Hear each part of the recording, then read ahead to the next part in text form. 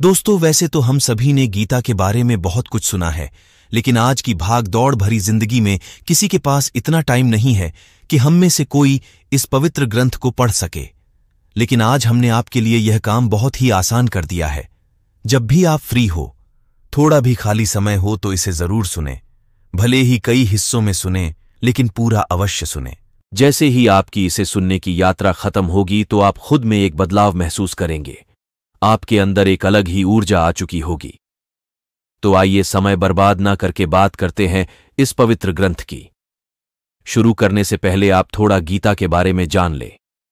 क्या है यह पवित्र ग्रंथ? श्रीमद् भगवत गीता, चारों वेदों, ऋग्वेद, यजुर्वेद, सामवेद तथा अथर्ववेद का सारांश है तथा इस वीडियो के माध्यम से हम आपको श्रीमद् भगवत गीता का भागों के अनुसार सारांश बताने जा रहे हैं। प्रत्येक अध्याय से निचोड़ निकालकर फिर उसको शुद्ध करके इसे बनाया है। आप इसे सुने तथा गीता की गरिमा से यथार्थ रूप से परिचित होकर स्वयं तथा अपने परिवार को धन्य बनाए। तो आइए शुरू करते हैं। भगवत गीता का अध्याय अनुसार सारांश यथावत आपके समक्ष प्रस्तुत है। अध्याय इस, कुरुक्षेत्र के युद्ध क्षेत्र में सेनाओं का अवलोकन करना। कुरुक्षेत्र के युद्ध क्षेत्र में पांडवों और कौरवों की दो सेनाएँ एक दूसरे का सामना करती हैं। कई संकेत पांडवों की जीत का संकेत देते हैं। पांडवों के चाचा और कौरवों के पिता धृतराष्ट्र को अपने बेटों की जीत की संभावना पर संदेह है और उन्होंने अपने सचिव संजय से युद्ध के मैदान के दृश्य का वर्णन करने के लिए कहा। पाँच पांडव भाइयों में से एक, अर्जुन, लड़ाई से ठीक पहले एक संकट से गुजरता है। वह अपने परिवार के सदस्यों और शिक्षकों के प्रति करुणा से अभिभूत है। जिनकी उसे हत्या करनी है। कृष्ण के सामने कई अच्छे और नैतिक कारण प्रस्तुत करने के बाद कि वह युद्ध क्यों नहीं करना चाहते हैं, अर्जुन ने दुख से अभिभूत होकर अपने हथियार अलग रख दिए। अर्जुन की युद्ध के प्रति अनिच्छा उसके दयालु हृदय को दर्शाती है। ऐसा व्यक्ति दिव्य ज्ञान प्राप्त करने के योग्य होता है। अध्याय दो, गीता की सामग्री का सारांश। कृष्ण को अर्जुन के तर्कों से सहानुभूति नहीं है, बल्कि उन्होंने अर्जुन को याद दिलाया कि उसका कर्तव्य युद्ध करना है और उसे अपने दिल की कमज़ोरी पर काबू पाने का आदेश दिया। अर्जुन अपने रिश्तेदारों को मारने के प्रति घृणा और कृष्ण की इच्छा कि वह युद्ध करे के बीच उलझा हुआ है। व्यथित और भ्रमित अर्जुन ने कृष्ण से मार्गदर्शन मांगा और उनका शिष्य बन गया। कृष्ण अर्जुन के आध्यात्मिक गुरु की भूमिका निभाते हैं और उन्हें सिखाते हैं कि आत्मा शाश्वत है और उसे मारा नहीं जा सकता। युद्ध में मरने से योद्धा को स्वर्ग की प्राप्ति होती है। इसलिए अर्जुन को खुश होना चाहिए कि जिन लोगों को वह मारने जा रहा है, उन्हें श्रेष्ठ जन्म प्राप्त होंगे। एक व्यक्ति सदैव एक व्यक्ति होता है। केवल उसका शरीर नष्ट होता है। इस प्रकार शोक करने की कोई बात नहीं है। अर्जुन का युद्ध न करने का निर्णय ज्ञान और कर्तव्य की कीमत पर भी अपने रिश्तेदारों के साथ जीवन का आनंद लेने की इच्छा पर आधारित है। ऐसी मानसिकता व्यक्ति को भौतिक संसार से बांधे रखती है। कृष्ण अर्जुन को बुद्धि योग में संलग्न होने, परिणामों के प्रति आसक्ति के बिना काम करने की सलाह देते हैं। इस प्रकार युद्ध करके अर्जुन स्वयं को जन्म और मृत्यु के चक्र से मुक्त कर लेगा और भगवान के राज्य में प्रवेश करने के योग्य बन जाएगा। अध्याय तीन। कर्मयोग अर्जुन अब भी असमंजस में है। उनका मानना है कि बुद्धि योग का अर्थ है कि व्यक्ति को सक्रिय जीवन से निवृत्त हो जाना चाहिए और तपस्या और तपस्या का अभ्यास करना चाहिए। लेकिन कृष्ण कहते हैं, नहीं, झगड़ा करना, लेकिन इसे त्याग की भावना से करो और सभी परिणाम परमेश्वर को अर्पित करो। यह सर्वोत्तम शुद्धि है। आसक्ति रहित होकर कर्म करने से मनुष्य को परम की प्राप्ति होती है। भगवान की प्रसन्नता के लिए बलिदान करने से भौतिक समृद्धि और पापपूर्ण प्रतिक्रियाओं से मुक्ति की गारंटी मिलती है। आत्मज्ञानी व्यक्ति भी अपना कर्तव्य कभी नहीं छोड़ता। वह दूसरों को शिक्षित करने के लिए कार्य करता है। तब अर्जुन ने भगवान से पूछा कि ऐसा क्या है जो किसी को पापपूर्ण कार्यों में संलग्न होने का कारण बनता है। कृष्ण उत्तर देते हैं कि यह वासना ही है जो व्यक्ति को पाप करने के लिए प्रेरित करती है। यह वासना व्यक्ति को भ्रमित कर देती है और उसे भौतिक संसार में उलझा देती है। वासना स्वयं को इंद्रियों, मन और बुद्धि में प्रस्तुत करती है, लेकिन आत्मनियंत्रण द्वारा इसका प्रतिकार किया जा सकता है। अध्याय चार।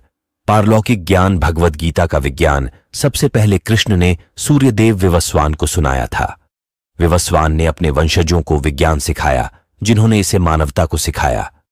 ज्ञान संचारित करने की इस प्रणाली को शिष्य उत्तराधिकार कहा जाता है।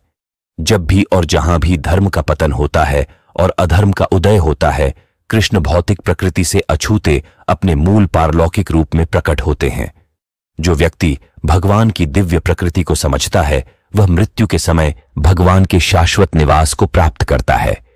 प्रत्येक व्यक्ति प्रत्यक्ष या अप्रत्यक्ष रूप से कृष्ण के प्रति समर्पण करता है और कृष्ण उसके समर्पण के अनुसार प्रत्युत्तर देते हैं।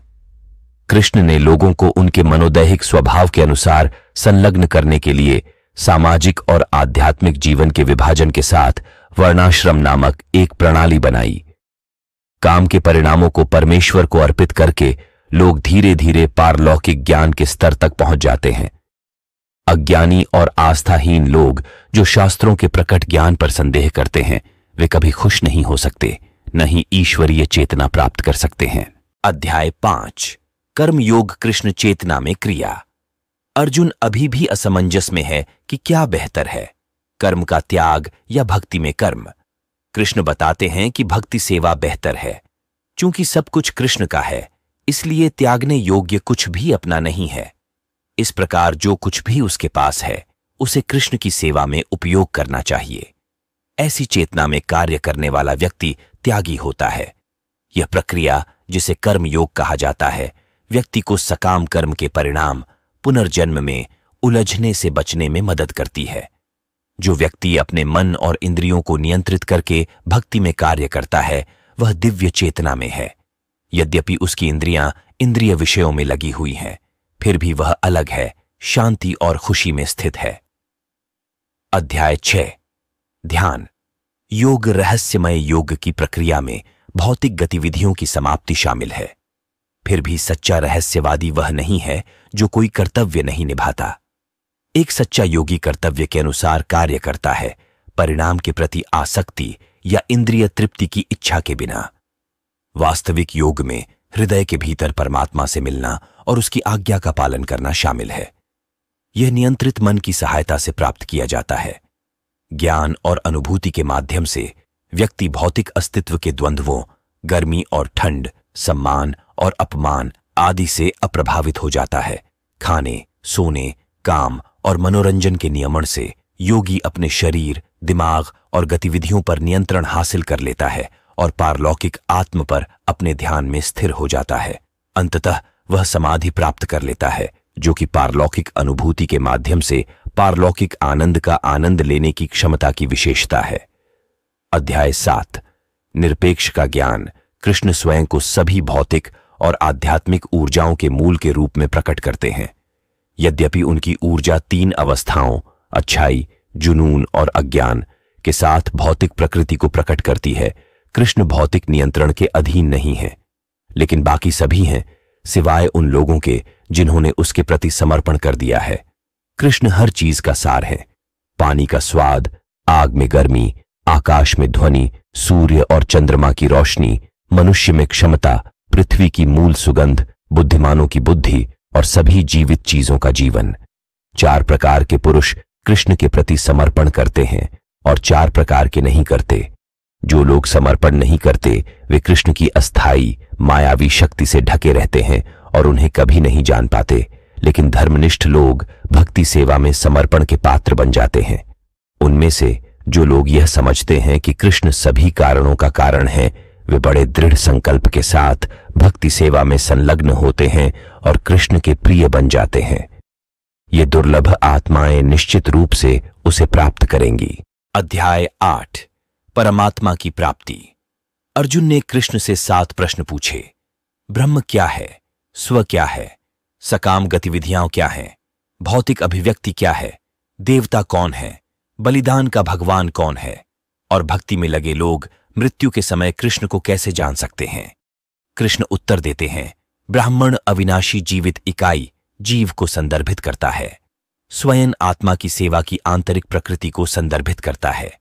और सकारात्मक गतिविधियों का अर्थ है, वे क्रियाएँ जो भौतिक शरीर का विकास करती हैं। भौतिक अभिव्यक्ति सदैव बदलती रहने वाली भौतिक प्रकृति है। देवता और उनके ग्रह सर्वोच्च भगवान के सार्वभौमिक रूप का हिस्सा है, और यज्ञ के भगवान स्वयं परमात्मा के रूप में कृष्ण हैं। जहाँ तक मृत्यु के समय कृष्ण को जानने की बात है यह व्यक्ति की चेतना पर निर्भर करता है। सिद्धांत यह है। जब कोई व्यक्ति अपना शरीर त्यागता है तो वह अपनी जिस अवस्था को याद रखता है, वह निश्चित रूप से उसी अवस्था को प्राप्त कर लेता है। कृष्ण कहते हैं, जो कोई भी जीवन के अंत में मेरा स्मरण करते हुए अपना शरीर त्यागता है, वह बिना किसी संदेह के तुरंत मेरे स्वभाव को प्राप्त कर लेता है। इसलिए, मेरे प्रिय अर्जुन, तुम्हें हमेशा मेरे बारे में कृष्ण के रूप में सोचना चाहिए और साथ ही युद्ध के अपने निर्धारित कर्तव्य का पालन करना चाहिए। मेरे प्रति समर्पित अपने क्रियाकलापों और मुझ पर स्थिर मन तथा बुद्धि से तुम निसंदेह मुझे प्राप्त करोगे। ब्रह्मा के प्रत्येक दिन के दौरान सभी जीव प्रकट हो जाते हैं और उनकी रात के दौरान वे अव्यक्त प्रकृति में विलीन हो जाते हैं। यद्यपि किसी के शरीर को छोड़ने के लिए शुभ और अशुभ समय होते हैं, कृष्ण के भक्त उनकी परवाह नहीं करते हैं।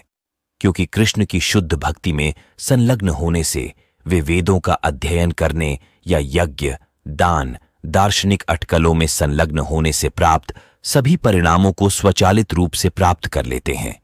और इसी तरह, ऐसे शुद्ध भक्त भगवान के परम शाश्वत धाम तक पहुँचते हैं। अध्याय नौ, सबसे गोपनीय ज्ञान। भगवान कृष्ण के अनुसार सबसे गोपनीय ज्ञान, भक्ति सेवा का ज्ञान, सबसे शुद्ध ज्ञान और सर्वोच्च शिक्षा है। यह आत्मबोध द्वारा स्वयं की प्रत्यक्ष अनुभूति कराता है और यही धर्म की पूर्णता है।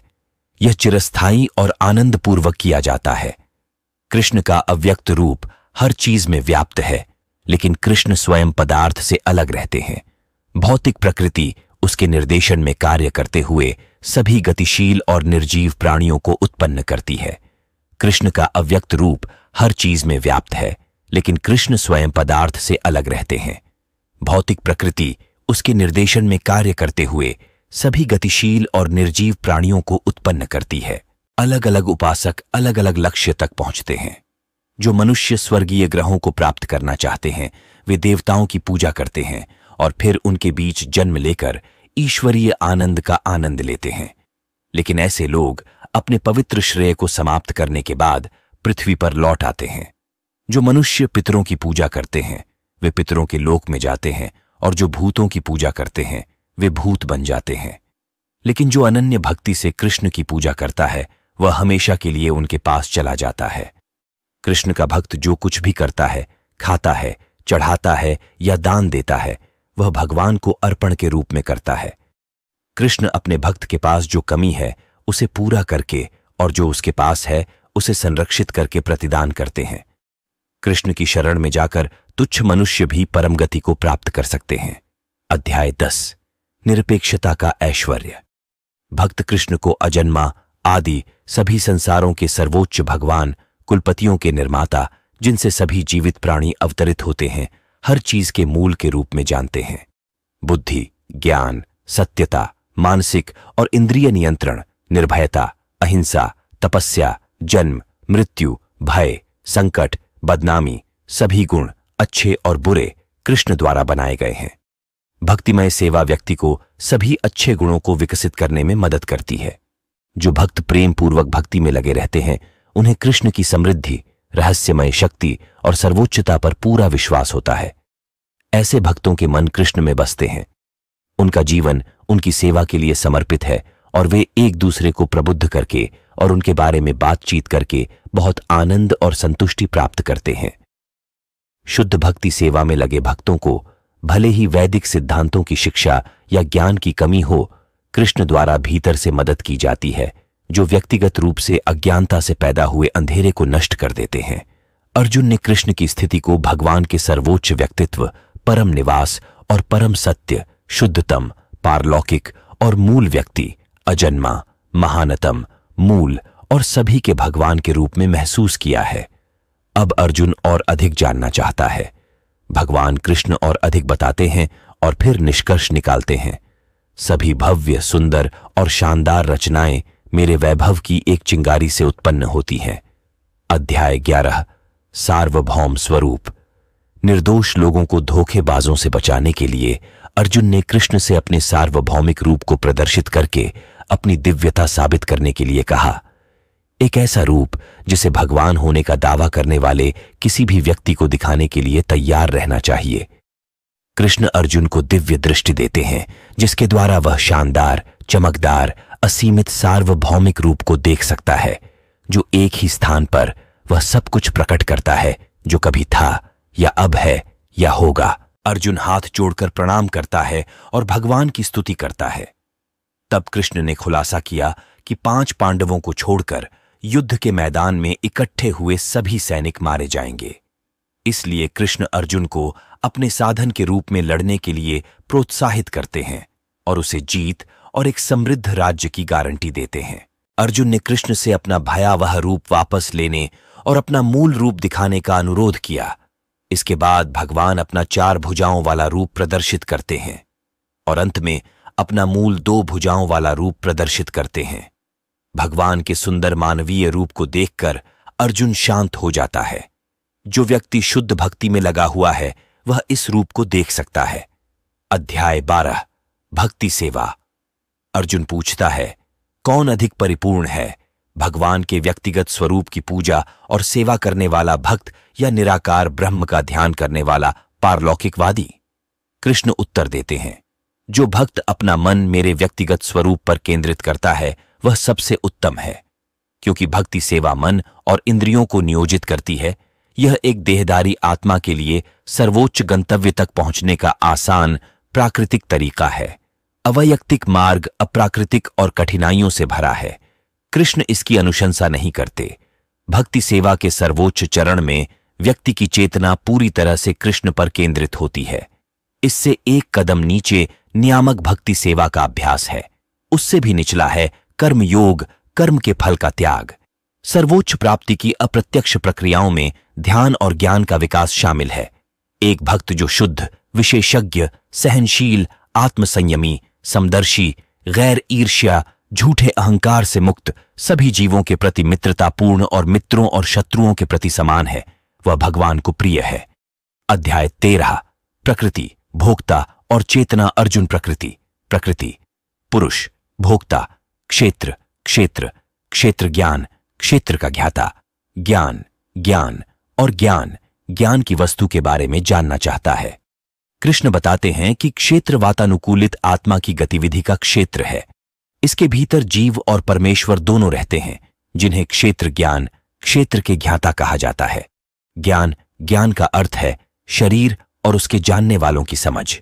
ज्ञान में विनम्रता, अहिंसा, सहनशीलता, स्वच्छता, आत्मनियंत्रण, झूठे अहंकार की अनुपस्थिति और सुखद और अप्रिय घटनाओं के बीच समचित्तता जैसे गुण शामिल होते हैं।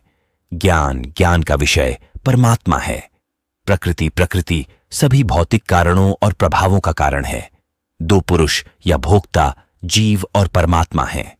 एक व्यक्ति जो यह देख सकता है कि व्यक्तिगत आत्मा और परमात्मा विभिन्न प्रकार के भौतिक शरीरों में, जिनमें वे सफलतापूर्वक रहते हैं, अपरिवर्तित रहते हैं, और कहा जाता है कि उनके पास अनंत काल का दर्शन है। शरीर और शरीर के ज्ञाता के बीच के अंतर को समझने और भौतिक बंधन से मुक्ति की प्रक्रिया को समझने से व्यक्ति सर्वोच्च लक्ष्य तक पहुँच जाता है। अध्याय चौदह। भौतिक प्रकृति के तीन गुण संपूर्ण भौतिक पदार्थ, भौतिक प्रकृति के तीन गुणों का स्रोत है। अच्छाई, जुनून और अज्ञान। ये विधाएँ बद्ध आत्मा पर अपना प्रभाव डालने में प्रतिस्पर्धा करती हैं। काम के तौर तरीकों को देखकर हम समझ सकते हैं कि वे सक्रिय हैं, हम नहीं और हम अलग हैं। इस प्रकार भौतिक प्रकृति का प्रभाव धीरे धीरे कम हो जाता है और हम कृष्ण के आध्यात्मिक स्वरूप को प्राप्त कर लेते हैं। सत्वगुण प्रकाशित करता है। यह व्यक्ति को सभी पापों से मुक्त करता है लेकिन उसे खुशी और ज्ञान की अनुभूति कराता है। जो व्यक्ति सतोगुण में मरता है, वह उच्च लोकों को प्राप्त करता है। रजोगुण से प्रभावित व्यक्ति असीमित भौतिक सुख, विशेषकर यौन सुख की असीमित इच्छाओं से ग्रस्त रहता है। उन इच्छाओं को पूरा करने के लिए, उसे हमेशा कड़ी मेहनत करने के लिए मजबूर किया जाता है, जो उसे पापपूर्ण प्रतिक्रियाओं से बांधता है, जिसके परिणाम स्वरूप दुख होता है। रजोगुणी व्यक्ति पहले से प्राप्त पद से कभी संतुष्ट नहीं होता। मृत्यु के बाद वह फिर से सकाम गतिविधियों में लगे व्यक्तियों के बीच पृथ्वी पर जन्म लेता है। तमोगुण का अर्थ है भ्रम। यह पागलपन, आलस्य आलस्य और मूर्खता को बढ़ावा देता है। यदि कोई अज्ञानता की अवस्था में मर जाता है तो उसे पशु साम्राज्य या नारकीय लोक में जन्म लेना पड़ता है। जो व्यक्ति तीनों गुणों को पार कर जाता है, वह अपने व्यवहार में स्थिर होता है। अस्थाई भौतिक शरीर से अलग होता है और मित्रों तथा शत्रुओं के प्रति समान रूप से प्रवृत्त होता है। ऐसे दिव्य गुणों को भक्ति सेवा में पूर्ण संलग्नता से प्राप्त किया जा सकता है। अध्याय पंद्रह। सर्वोच्च व्यक्ति का योग, इस भौतिक संसार का वृक्ष, वास्तविक वृक्ष, आध्यात्मिक संसार का प्रतिबिंब मात्र है। जिस तरह एक पेड़ का प्रतिबिंब पानी पर स्थित होता है उसी तरह आध्यात्मिक दुनिया का भौतिक प्रतिबिंब इच्छा पर स्थित होता है, और कोई नहीं जानता कि यह कहाँ शुरू या समाप्त होता है। यह प्रतिबिंबित वृक्ष भौतिक प्रकृति के तीन गुणों द्वारा पोषित होता है। इसकी पत्तियाँ वैदिक रचाएँ हैं, और इसकी टहनियाँ इंद्रियों की वस्तुएँ हैं। जो व्यक्ति स्वयं को इस वृक्ष से अलग करना चाहता है, उसे वैराग्य के हथियार से इसे काट देना चाहिए, और सर्वोच्च भगवान की शरण लेनी चाहिए। इस दुनिया में हर कोई अचूक है लेकिन आध्यात्मिक दुनिया में हर कोई अचूक है और अन्य सभी से परे सर्वोच्च व्यक्ति कृष्ण है। इस दुनिया में हर कोई अचूक है, लेकिन आध्यात्मिक दुनिया में हर कोई अचूक है और अन्य सभी से परे सर्वोच्च व्यक्ति कृष्ण है। अध्याय सोलह, दैवी और आसुरी प्रकृतियाँ। सृजित प्राणियों के दो वर्ग, दैवीय और आसुरी अलग अलग गुणों से संपन्न हैं। अर्जुन जैसे धर्मात्मा पुरुषों में ईश्वरीय गुण होते हैं। दान, आत्मसंयम नम्रता, शील, क्षमा, स्वच्छता, तपस्या, सादगी, अहिंसा, सत्यता, शांति, निर्भयता, क्रोध से मुक्ति, आध्यात्मिक ज्ञान की खेती, दोष से घृणा, खोज, सभी जीवित प्राणियों के लिए करुणा, लोभ से मुक्ति और स्थिर दृढ़ संकल्प। अभिमान, क्रोध, ईर्ष्या, कठोरता, अहंकार, अज्ञानता निर्लजता अस्वच्छता और अनुचित व्यवहार जैसे आंसुरी गुण लोगों को भ्रम के जाल में बाँध देते हैं। जिससे उन्हें बार बार आंसुरी योनि में जन्म लेना पड़ता है।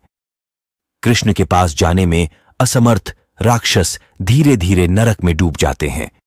दो प्रकार की कार्रवाई विनियमित और अनियमित अलग अलग परिणाम देती है। जो व्यक्ति शास्त्रीय आदेशों का त्याग करता है, उसे न तो पूर्णता मिलती है, न खुशी, न ही सर्वोच्च गंतव्य। शास्त्र द्वारा नियंत्रित लोग समझते हैं कि कर्तव्य क्या है और क्या नहीं। वे आत्म प्राप्ति के लिए अनुकूल कार्य करके धीरे धीरे सर्वोच्च गंतव्य प्राप्त करते हैं। अध्याय सत्रह, आस्था के विभाजन। अर्जुन पूछता है, प्रकृति का कौन सा तरीका उन लोगों को नियंत्रित करता है जो शास्त्र के सिद्धांतों का पालन नहीं करते हैं, बल्कि अपनी कल्पना के अनुसार पूजा करते हैं? उत्तर में, कृष्ण विभिन्न प्रकार के विश्वास, भोजन, दान, तपस्या बलिदान और तपस्या का विश्लेषण करते हैं, जो भौतिक प्रकृति के विभिन्न गुणों को चिह्नित करते हैं। तीन शब्द, ओम तत् सत, सर्वोच्च परम सत्य का प्रतीकात्मक प्रतिनिधित्व है। ओम सर्वोच्च को इंगित करता है, तत् का उपयोग भौतिक बंधन से मुक्त होने के लिए किया जाता है, और सत इंगित करता है कि पूर्ण सत्य भक्ति सेवा का उद्देश्य है। ईश्वर में विश्वास के बिना किया गया कोई भी यज्ञ, दान या तपस्या असत अनित्य कहलाती है। अध्याय अठारह, निष्कर्ष, त्याग की पूर्णता। अर्जुन ने कृष्ण से त्याग त्याग और सन्यास, जीवन का त्याग आदेश के उद्देश्य के बारे में पूछा। कृष्ण इन्हें और कर्म के पाँच कारणों, कर्म को प्रेरित करने वाले तीन कारकों और कर्म के तीन घटकों की व्याख्या करते हैं। वह भौतिक प्रकृति के तीन गुणों में से प्रत्येक के अनुसार कार्रवाई, समझ, दृढ़ संकल्प, खुशी और काम का भी वर्णन करता है। व्यक्ति अपना कार्य करके पूर्णता प्राप्त करता है, दूसरे का नहीं, क्योंकि निर्धारित कर्तव्य कभी भी पापपूर्ण प्रतिक्रियाओं से प्रभावित नहीं होते हैं। इस प्रकार व्यक्ति को परिणाम की आसक्ति या अपेक्षा के बिना कर्तव्य की तरह काम करना चाहिए। मनुष्य को अपना कर्तव्य कभी नहीं छोड़ना चाहिए। आत्म साक्षात्कार का सर्वोच्च मंच कृष्ण की शुद्ध भक्ति है। तदनुसार, कृष्ण अर्जुन को हमेशा उन पर निर्भर रहने, उनके संरक्षण में काम करने और उनके प्रति सचेत रहने की सलाह देते हैं। यदि अर्जुन कृष्ण के लिए लड़ने से इनकार करता है तो भी उसे युद्ध में घसीटा जाएगा, क्योंकि एक क्षत्रिय के रूप में लड़ना उसका स्वभाव है। फिर भी वह यह निर्णय लेने के लिए स्वतंत्र है कि वह क्या करना चाहता है। कृष्ण की कृपा से अर्जुन का भ्रम और संदेह दूर हो जाता है, और वह कृष्ण के निर्देशों के अनुसार लड़ने का विकल्प चुनता है। दोस्तों, अभी आपने संपूर्ण गीता सार का अर्थ समझा। महाभारत युद्ध के दौरान कृष्ण और अर्जुन के बीच हुए संवाद को सुना। उम्मीद है कि आपको भी अपने बहुत से प्रश्नों का उत्तर मिल गया होगा। अतः आपसे निवेदन है कि चैनल को सब्सक्राइब करें और वीडियो को लाइक, कमेंट और शेयर भी करें, ताकि हमारे और भी भाई इसका फ़ायदा उठा सके। आपका हमारे साथ जुड़े रहने के लिए बहुत बहुत धन्यवाद।